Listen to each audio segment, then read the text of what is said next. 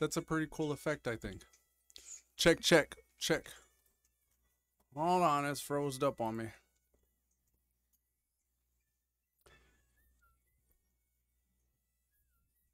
Check, check, check. I don't know what that was. We we just entered a wormhole, guys. All right. Welcome back. This is the Elude Stalwart channel. We're reading uh the Disciple of Discipline, chapter 5 of Never Finished. Unshackle your mind and win the war within. Chapter 5 Disciple of Discipline. My vision narrowed as we pulled into the driveway at the crew cabin in Breckenridge, Colorado. It was just after 4 in the morning and dark as hell. I could barely see as I stepped carefully down the short staircase leading to the front door. Kish watched me, concerned, as I entered the house under my own power. I was hurting, but I held it together, and she knew I wouldn't show any weakness in front of the team. In fact, she'd assumed that I kept walking all day through our bedroom and on the ground floor into the bathroom where she could help me get undressed and cleaned up. But the thin thread between gripping tight to remain upright and presentable was fraying fast. And as soon as the guys were out of, sna- out of sight, I snapped. Or it snapped. My knees buckled and I fell to the bedroom floor. Kish was right behind me. She closed the door and locked it, ripped the cover off the bed, and spread it on the floor beside me. Then she did her best to reposition me into the bedspread, giving me some semblance of comfort. She had no clue that her attentiveness made me anything but comfortable. Kish is a neat freak and she's borderline OCD. Dust, dirt, and potential germs for her radar pinging on high or germs for get her radar pinging on high alert. The first to come the she's the first to comment when there's something foul in the air. And here I was smelling like an old dog who had rolled in roadkill. My legs and feet were covered and in mud and blood, and my fingernails uh, rimmed with dirt. A paste of filth and sweat coated my skin from t- the toe to the scalp. My breath was rapid, rancid, and shallow, and the mild tremors of the filth and sweat coated my skin from toe to scalp. My breath was rapid, rancid. Oh, uh, I already read that part. What? hold on, hold on. Bone rattling shivers. Okay, my breath was rapid, rancid, tremors. Oh, it's the light. The light's so bright. Let me change the color here, guys. This will do it here. Because I'm staring straight into this light here. Oh, look, you could change the font. Guys, guys, win the war with it. Ooh, let's do it that way. Okay.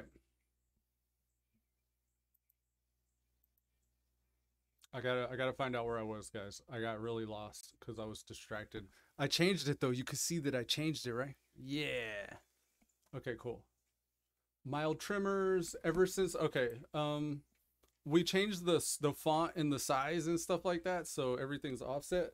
Okay, look, my breath was rapid, rancid, and shallow, and the mild tremors had only been visible to Kish in the car because she was paying close attention and become, and those had become bone rattling shivers. Then my bowels groaned. I knew it was about to get a whole lot worse. This was nothing new for me. Ever since my first ultra, the San Diego one day, the aftermath of every 100 mile race I'd completed included a tidal wave of pain and suffering, along with the humiliating loss of control of my most basic bodily functions. Kish knew that, but she had never experienced it firsthand. I was nervous that she wouldn't be able to handle it. The two of us are very different people. Kish is not an outdoorsy motherfucker. if it weren't for me, she never would have heard of Leadville. Her idea of fun is spending the day on a pickleball court of golf course or chilling at a five star resort. She's prissy as fuck. I'm a holdover beast from a different age, but when it comes to work and hard discipline, that's where we marry up. She keeps up in the gym and on the road trails as a hard charger when it comes to business and understands my dedication to the grind in a way that no other woman or other person has in my life. Yet, aside from that one night in Nashville ER, she had only ever seen me as capable of enduring and withstanding almost anything and everything with little to no help and often on very little sleep. I'd rarely, rarely showed her any vulnerability. So, how would she feel about me when she saw I wasn't even capable of wiping my own ass? Ashamed and embarrassed, I told her that I was about to go down, and she looked horrified. Wait, David, not on the duvet. The what? I asked, delirious. The duvet. I must still look confused as hell because I never heard the word duvet in my entire fucked up life. you know the comforter goes inside the duvet. Kish looked frazzled as she looked at the snow white linen beneath me, which to her abject horror was getting soaked through on my most foul, foul post race marinade. You're lying on it right now. you mean blanket? I asked. She danced out of the room without answering and returned the black trash bag and she uh, spread between me and the precious duvet like an open diaper. And then only the only then did she tug my running shorts down to my thighs. My bowels unclenched and an ungodly stench rose up around us. As predicated, she had to wipe my ass because why is it with someone farts? This is a side tangent. Was there every time someone farts, everyone in the room goes. I just read that. I went. As predicted, she had to wipe my behind because I couldn't move, and then she helped me up to my knees so I could piss on some high-end decorative glass fruit bowls she'd found upstairs in the kitchen while she clenched her teeth and stressed about what what it, this might do to her Airbnb rating. After all that, she peeled the shoes off my socks uh, and the so- shoes and socks off my feet. She cleaned me up the best that she could and cocooned me in that fucking duvet. my eyes rolled up and began sagging in my eyelids. I wasn't sleeping. I was uh, it, I was attempting to savor the uncontrollable shivers, the filth, my own sick stench, and many flavors of pain. The crushing agony in my hip flexors was searing. The only other time I felt anything like that was during the Wednesday night of my second hell week whenever I was rousted after a five minute power nap on the beach. Everyone else on my boat crew was getting a full hour, but not me. Psycho Pete, the instructor I hated most, wanted a private audience. I remember trying to stand with that maniac in my face. It felt like my hips were trapped in a vice. The only thing that would have eased the throb, excuse me, was curling up in the fetal position. So that's what I did in Breckenridge, tripping on how much pain the power has to bring you back in time. Tripping on how the pain has the power to bring you back in time like nothing else. As I lay there shivering and sweating at the same time, I could have sworn that back on Cor- Coronado Island, getting wet and sandy. Oh, yeah, as I lay there shivering and sweating at the same time, I could have sworn I was back on Coronado Island getting wet and sandy. Uh, Kish was terrified. She watched me uh, and timed my arrhythmic heartbeats and or my arrhythmic breaths and listened to my bones rattle as she mapped out emergency contingencies in her head. Was I in shock? Was I having some sort of altitude reaction? Breckenridge is a 9,600 feet. She was concerned my condition would deteriorate fast. But I wasn't worried about any of that. I knew that this was my old friend Breakdown, my final phase of Ultra. When I first got to endurance events, I loved the breakdown phase because uh, phase because the suffering made me feel alive, and reminded me that I'd gone all out. This time I didn't relish it the same way, but I knew that the breakdown was a byproduct of an all-out effort. That if I explored the crevices of my mind, I would find a valuable lesson, which would tend to spill out with any or which tend to spill out without with any unraveling. So anytime you get an unraveling, you get lessons. Most people prefer to avoid breakdowns like this because the suffering can be so overwhelming. They just mark you forever, or it just might mark you forever. I embrace the breakdown and welcome the scarring. There is a hell lot of information in scar tissue. Scars are proof that the past is real. Physical scars never go away when you look at them. They bring you back to a specific place and time. But the scar tissue that builds up around that old injury is weak. Professional fighters who've been hit in the face thousands of times bleed faster than those who have never been punched. Once you've been cut deep, you're ever, you're forever vulnerable to bleeding. The same is true for the mental and emotional scars that we all carry within us. The scars we cannot see. They might be invisible, but they're affecting us much more severely than physical scars. Mental and emotional scars are a weak spot, and they open up just as easily as physical scars unless we do the work to strengthen them. If you haven't dealt with your scars, they can alter your life path. You'll be prone to failure during your physical and emotional situations, whether that's during an athletic event, at work, or in your home life. And eventually, you'll land back in front of your mirror that never lies. Breakdown is its own kind of mirror. Whatever you're made of is laid out in front of you, and it's clear and plain.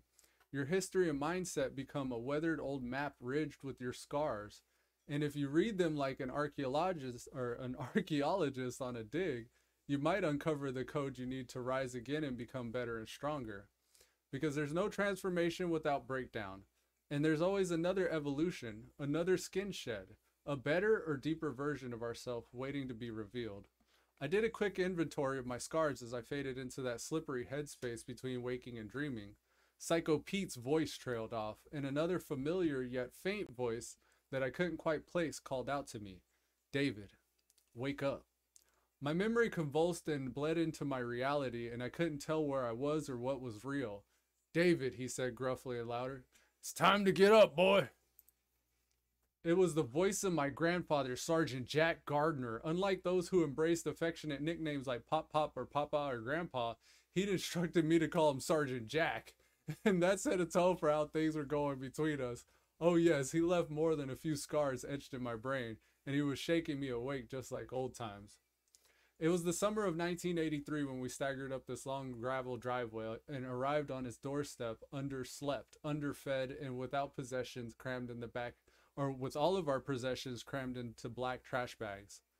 My mother knocked on the door. While we waited, I scanned the yard. My grandpa had a big property full of a full acre of land, including a wide, perfectly manicured lawn with train tracks along one side. There wasn't a blade of grass out of place and not a single weed in sight. That should have been my first warning. While my dad was convinced that my grandfather had been our escape had been behind our escape from Buffalo, he didn't witness our arrival or my grandmother Morna's wordless greeting in front of the porch. She opened the door, rolled her eyes, and waved us inside. Sergeant Jackson stood right, or Sergeant Jack stood right behind her with an expression and hair, uh, uh, with an expression of a drill instructor waiting for new recruits to get off the bus with their long hair and beards all went behind the ears.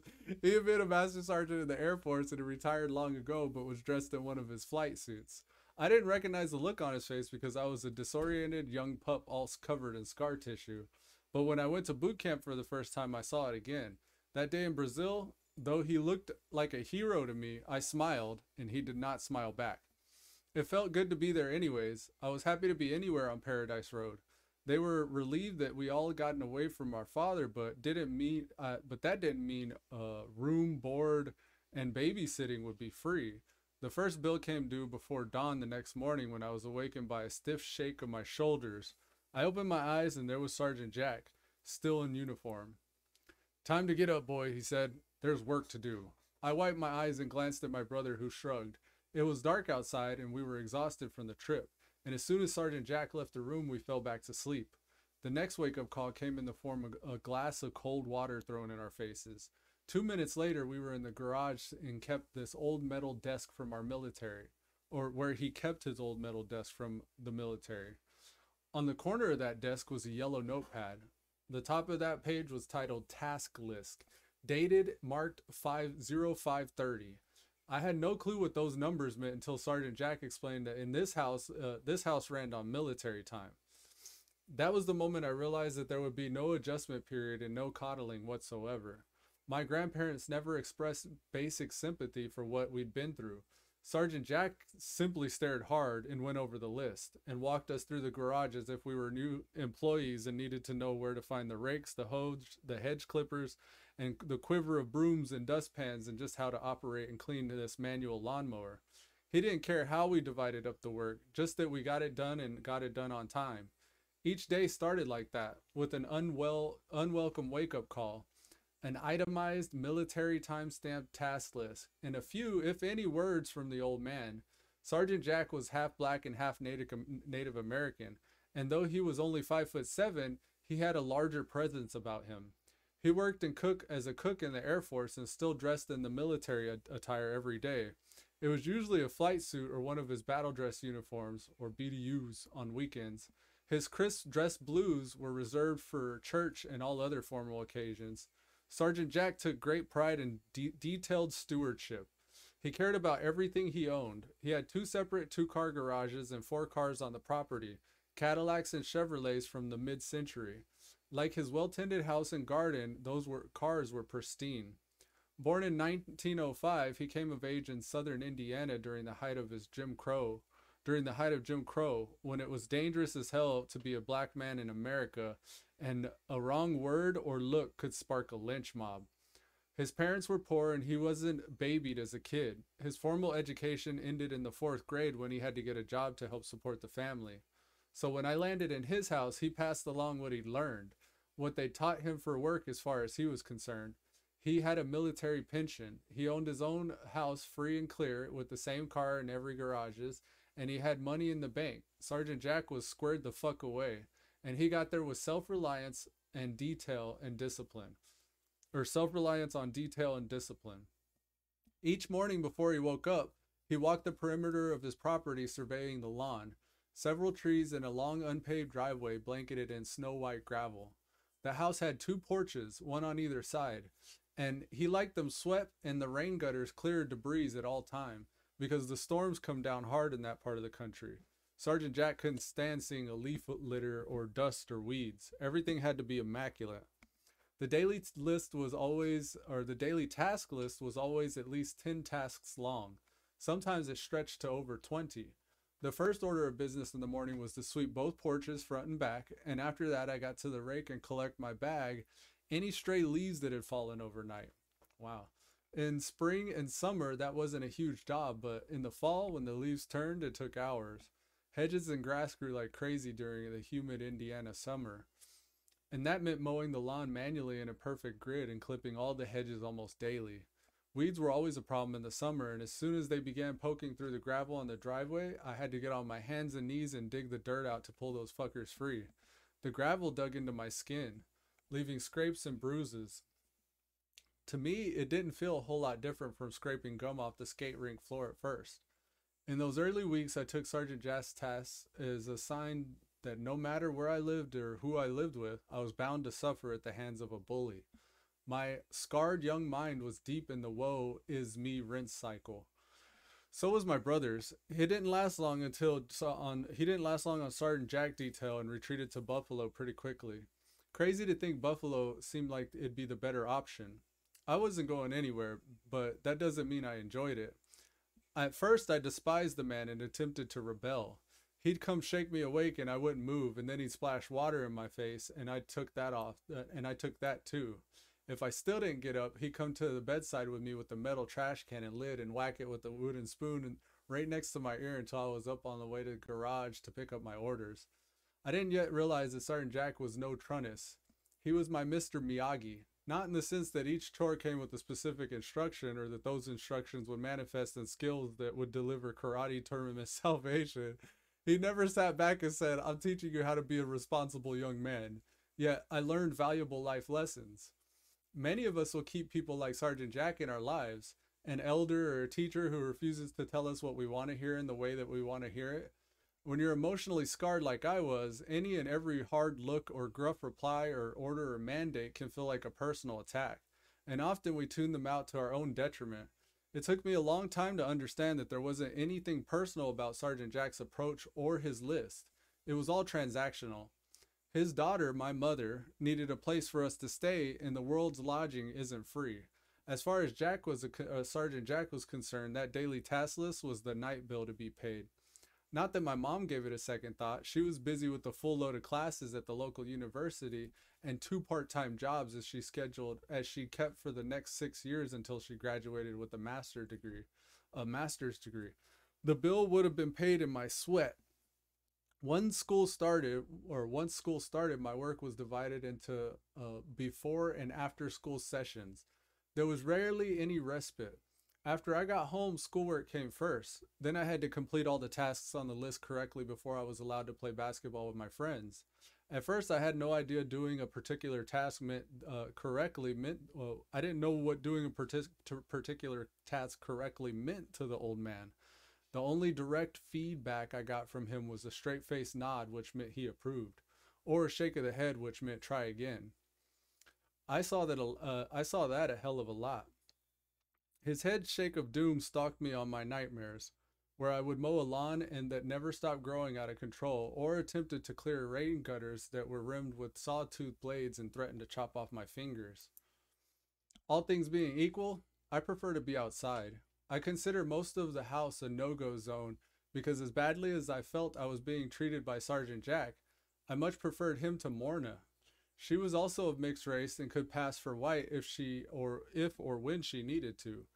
She celebrated that fact by spraying the N word around like an Ecolab exterminator hunting for a hive of cockroaches. More often than not, her favorite word landed on my head. For all the racists I met in Brazil, nobody called me N I double G E R more than sweet Grandma Morna, which only heightened the feeling that I was in their personal slave, or that I was their personal slave. Months passed and the tyranny did not relent, but by then I knew exactly what Sergeant Jack expected from me.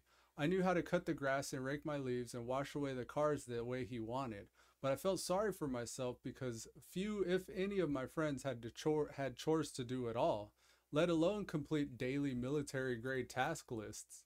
Plus, my grandparents still hadn't demonstrated any empathy for what I'd been through during my first eight years of life.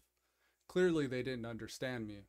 I was housed in their guest room with the dated furniture and wallpaper. I didn't have a basketball poster on the walls. I wasn't given toys or cool sneakers or a stereo. Did they put out any effort to make that room more accommodating for a kid? Hell no.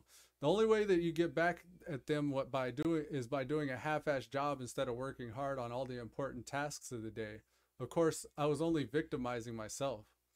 If I wasn't done before dinner time, they called me in. The meals were not kid friendly. There were no burgers or hot dogs.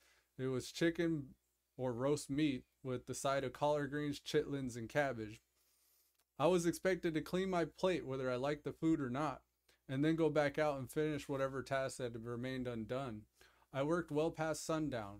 I couldn't understand why my grandparents treated me this way. The only exp- explanation in my jacked up eight year old brain could find was like my father, they hated me and resented me when, as a presence in their home, which is why in the early days, uh, earning Sergeant Jack's checkmark of approval meant nothing to me. And as I sleepwalked through his tasks like a zombie, I figured any half assed attempt was good enough. Fuck it, and fuck him, I thought. I hated the old bastard and didn't care what he thought of me. Six months later, I still loathed the man and I changed my approach to the task list. I got up after the first wake up call with no delay. There would be no more early morning baptisms for me. Instead, I focused on the details Sergeant Jack always noticed and finished each job right the first time. That way, the only way I'd get any kind of free time is to play basketball. However, my new approach produced an unexpected side effect as well a sense of pride in a job well done. In fact, a sense of pride came to me more than just basketball time. When I was watched his when I watched his car collection, a weekly assignment, I knew every drop of water had to be wiped away with cameos before the first coat of wax. I used SOS pads to get the white walls gleaming and buffed the hell out of every panel. I also used Armor All on the dashboards and all the vinyl insides. I buffed the leather seats too. It bothered me if I saw streaks on glass or chrome.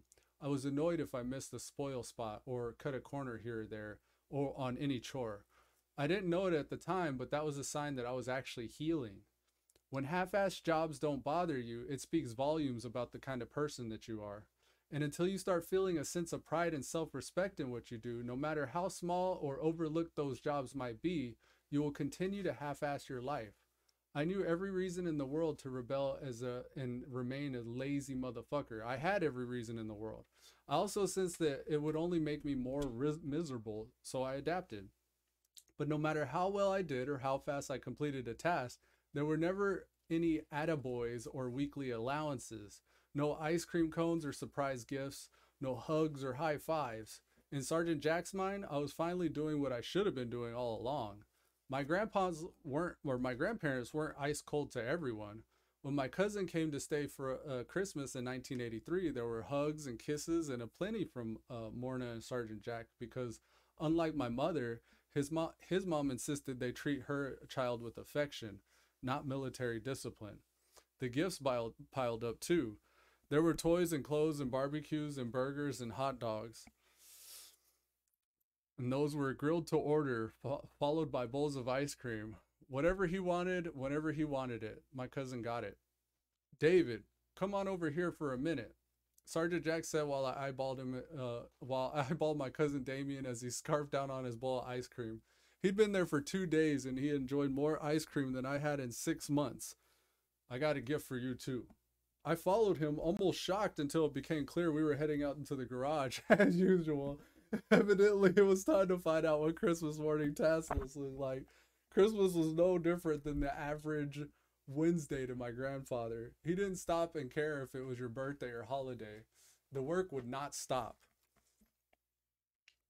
I grabbed a sheet of paper off his desk as he wheeled over my Christmas present, and with a shiny new manual or lawnmower with my initial monogram or with my initials monogrammed on it on the gleaming stainless steel wheel hubs. There was snow on the ground, so I knew I didn't need to mow the lawn that morning, but there's still been a sale on yard equipment at Western Auto, and the old man could never pass up a sale. Merry Christmas, he said with a grin. My cousin was being treated like a prince, and the old motherfucker brought me out to the garage to troll me. I guess I've had every, I've had a lot of Merry fucking Christmases in my life. Two separate events would soon change how I saw Sergeant Jack forever. In the new year, my mom and I moved up out of our subsidized $7 a month apartment in Lamplight Manor. The following summer, she enrolled me in the summer school down the road. One day after class let out, I walked home with a group of kids who lived nearby. One of them, a little girl named Meredith, lived down the street. And we uncovered or we covered the last stretch together. Her father happened to be sitting in her front on their front porch drinking a beer when we got to the house. And as soon as he saw me, he put that beard down. He leaned forward, stroked his beard, and glared at me like a mad dog.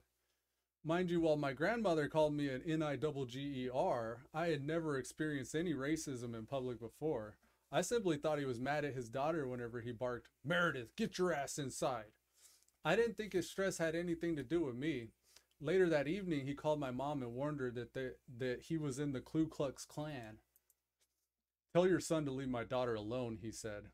After she got if she after she told him to go fuck himself, he said that he would pay Sergeant Jack a visit. Everyone knew Sergeant Jack in Brazil, Indiana. He was friends with the mayor and local leaders, who all considered him to be a church going patriot, a man of God and his word. He was proof that the American dream was real, and in the minds of any many racist white boys in Brazil, he was one of the good ones. Clearly, this foul, this fool thought Sergeant Jack would straighten her out, uh, straighten her and me out, and my mom smiled at that thought. Please do, she said. Then she sh- she hung up and called her father. When I saw Meredith's dad again a few years later, he was on my grandparents' front porch. He'd come by unannounced, but Sergeant Jack was prepared. He looped his pistol around his belt and wore it like a sidearm whenever he opened his front door. I was huddled inside behind my grandfather and corner around, uh, but and around a corner, but had a clear view. Whenever Meredith's father noticed Sergeant Jack's weapon and backed up a step, Sergeant Jack raised his chin another inch, looked the man dead in the eye, but didn't say a word. Look, Jack, the Klansman said, if your grandson doesn't stop walking home from school with my daughter, we're going to have some problems. The only problems we're going to have, Sergeant Jack said, is a dead Klansman on my front porch if you don't get off my property. I ran to the door in time to watch the man turn around and get back in his truck and drive off, and then I looked over at Sergeant Jack, who nodded. It was the first time any adult had protect, protected me from harm. A few months later, I was in the driveway with Sergeant Jack and his friend Bill. While they worked hard on my grandfather's Cadillac, those two tinkered with cars almost every day. If they weren't changing spark plugs or checking oil, Sergeant Jack was flushing a radiator or steam cleaning an engine. When the day's job was done, Bill slammed the steel hood down without realizing Sergeant Jack's were still resting on the rim. The hood shattered his fingers on both of his hands, but he didn't make a sound. Bill lifted the hood, he said calmly, still in complete control. The blood drained from Bill's face when he realized what he'd done. He was so shocked it took a few seconds for him to jiggle the hood's release. When he finally got when he finally got it, Sergeant Jack pulled up his bloody hands free, walked calmly into the house and found my grandma or grandmother. Morna, he said, I think you better drive me to the hospital. Witnessing that changed me. I'd never been around such strength and composure. I didn't even know something like that was possible. And I thought if I could be as tough as him one day, all of the suffering in the hands of my father, the shoveling, the snow gravel, the raking the leaves, washing cars, cleaning rain gutters, clipping hedges, lawn mowing, it would all be worth it. I was still struggling to learn trust, to feel good about myself, and to find meaning in all the pain. But seeing how Sergeant Jack handled that situation, I learned that being tough could be my way out. I didn't mean my way out of Brazil. That wasn't at the top of my mind yet. I was looking for a way out of my fragile, wounded state of mind. And there was an old saying in the military that if you are stupid, you better be hard. Back then, I considered myself stupid.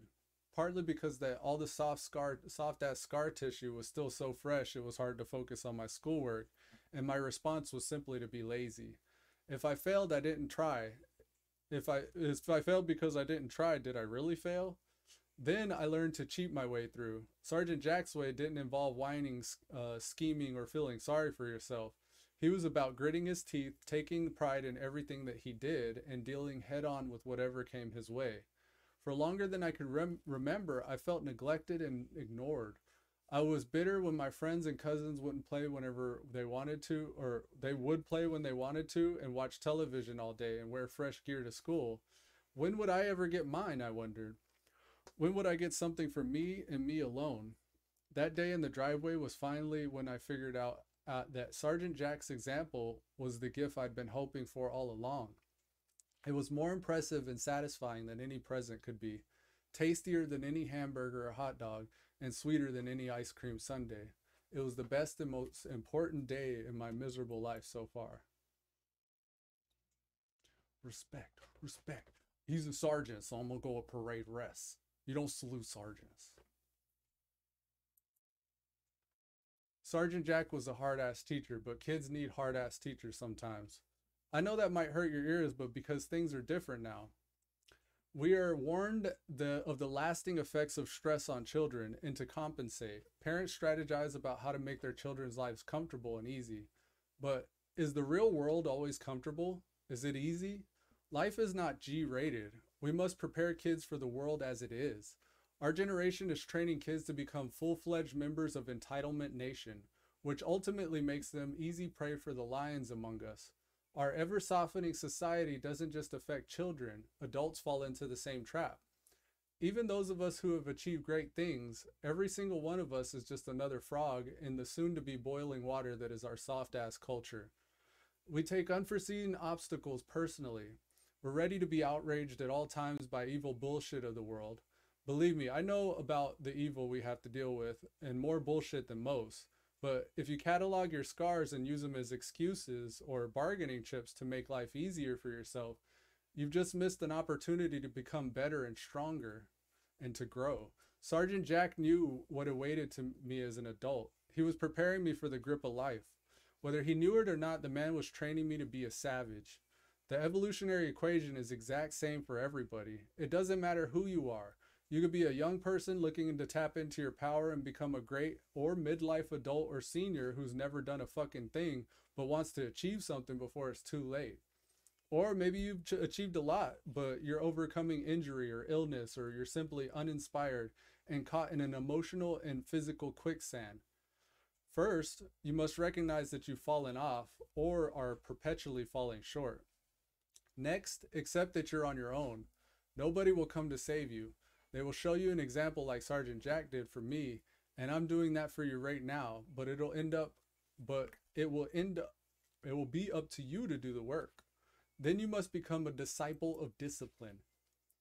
Even after we moved into our own place, whenever mom had my work or had to work late or go out of town, I'd spent the night at Sergeant Jack's, and sure enough, there would be a wake up call and a bill in the morning in the form of a task list. And yes, like my dad, Sergeant Jack was a mean old man who expected me to do what he said and work for free. But unlike Trunnis, he wrapped something valuable in the discipline he served. And whenever I put maximum focus to each task, I earned a sense of pride and I hadn't been able to find anywhere else. But it didn't last. Eventually, I grew to be a, a rebellious teenager and I sagged my pants down and flipped the middle finger at authority. And I was well on my way to flunking out. I'd become a punk, but Sergeant Jack didn't try to tell me how to dress or act, beyond insisting that whenever I come across as an adult, or when I come across an adult, I had better greet them with sir or ma'am.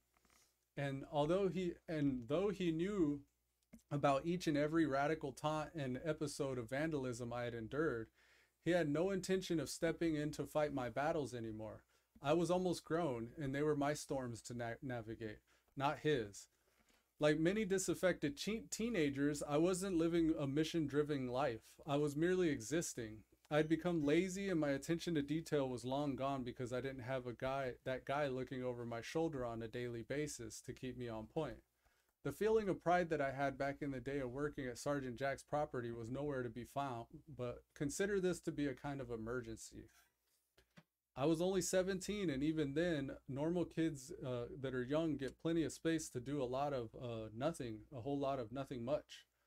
We've all heard parents say, he's only a teenager or she's only in college when explaining away bad habits or poor choices.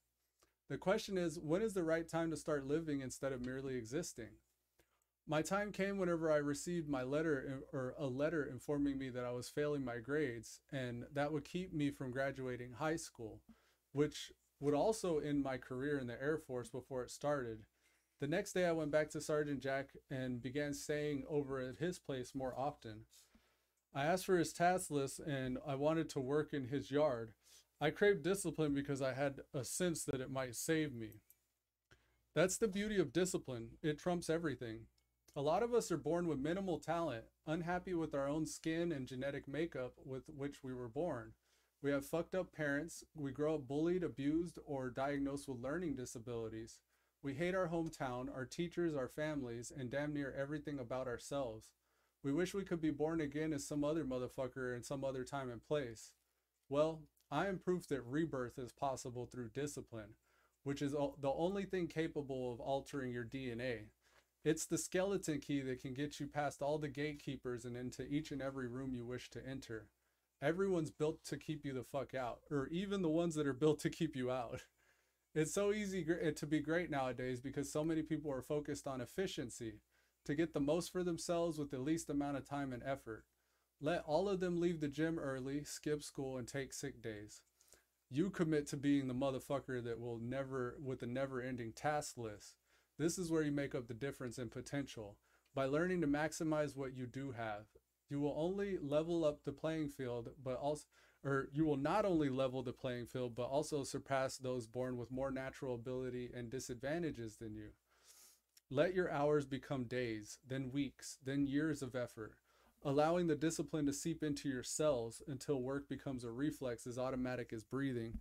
With discipline as your medium, your life will become a work of art. Discipline builds mental endurance because whenever effort is your main priority, you stop looking for everything to be enjoyable. Our phones and social media have turned uh, too many of us inside out with envy and greed as we get inundated with the other people's success. Their new cars and houses, big contracts, resort vacations, and romantic getaways. We see how much fun everyone else is having and feel like the world is passing us by. So we bitch about it and then wonder why we're not where we want to be. When you become disciplined, you don't have time for that bullshit. Your insecurities become alarm bells reminding that you uh, reminding you that doing your chores or homework to the utmost of your ability and putting in extra time on your job or in the gym are requirements for a life well lived. A drive for self optimization and daily repetition will build your capacity for work and give you confidence that you can take on more. With discipline as your engine, your workload and output will double, then triple. What you won't see, at least not at first, is the fact that your own personal evolution has begun to bear fruit. You won't see it because you'll be too busy taking action. The discipline doesn't have to be a belief system. It transcends class, color, and gender. It cuts through all the noise and strife. And if you think that you're behind the eight ball for whatever reason, discipline is the great equalizer. It erases all disadvantages.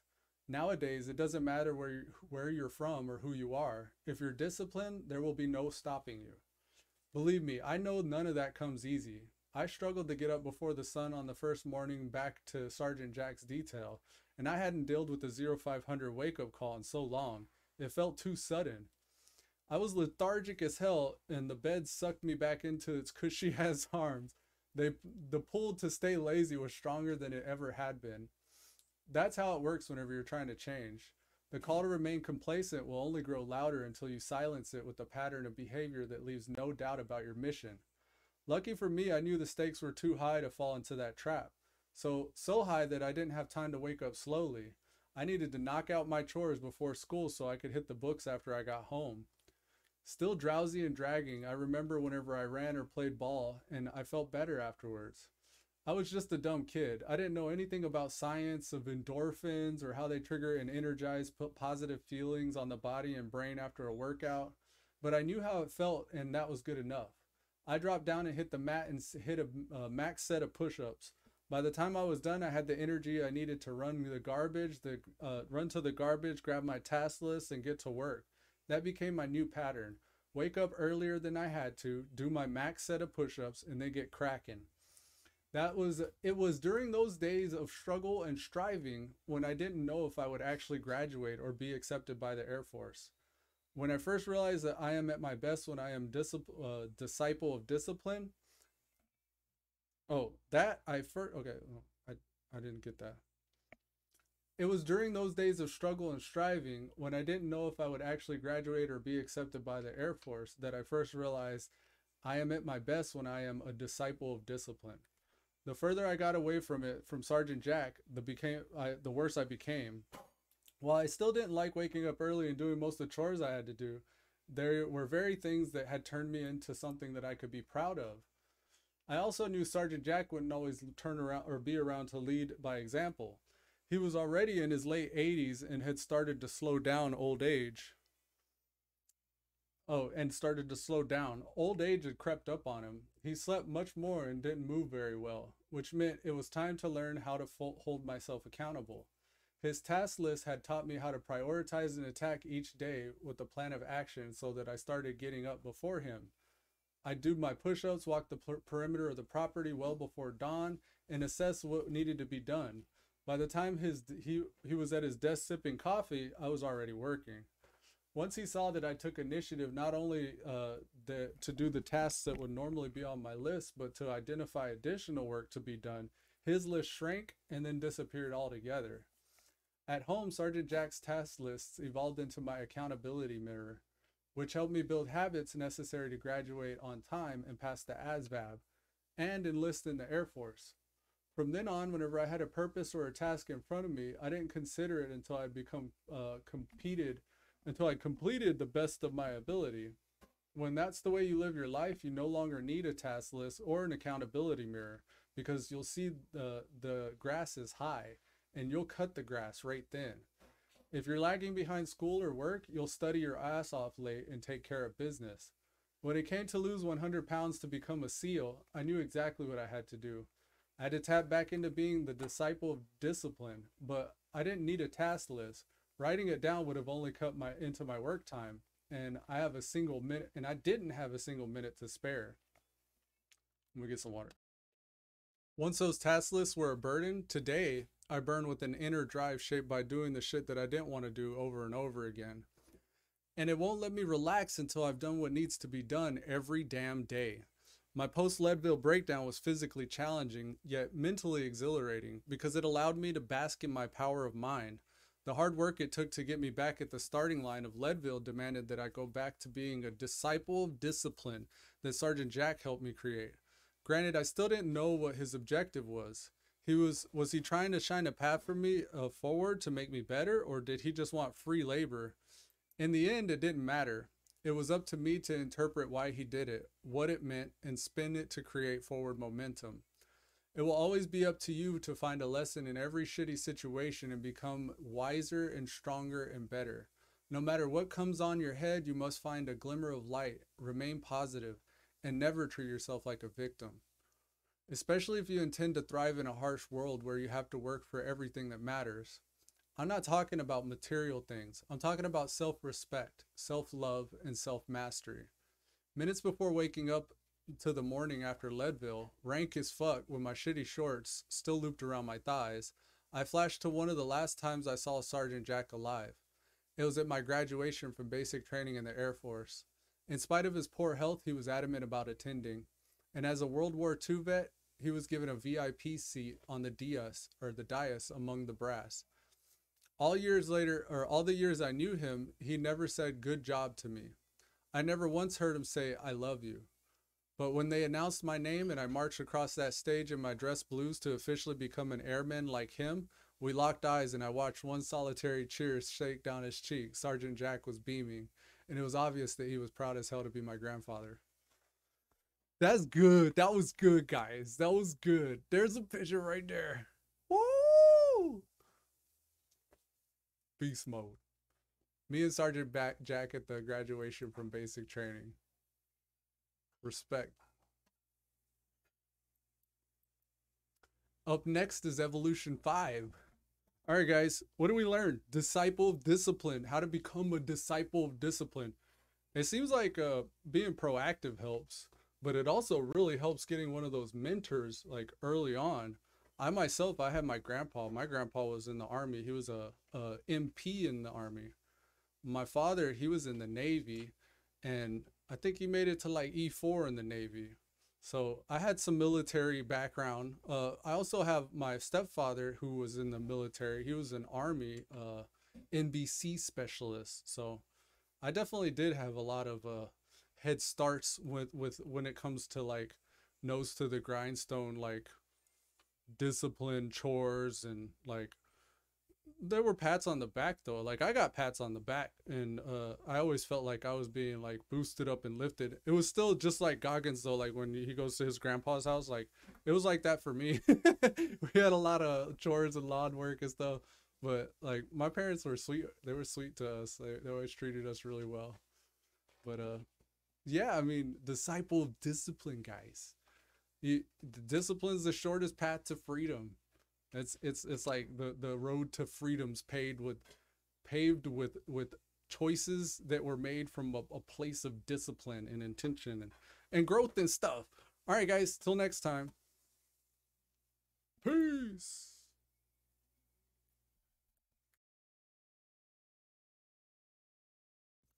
I ain't gonna lie, he got me choked up a couple times. I got choked up uh, once or twice. This this stuff resonates. Peace, peace.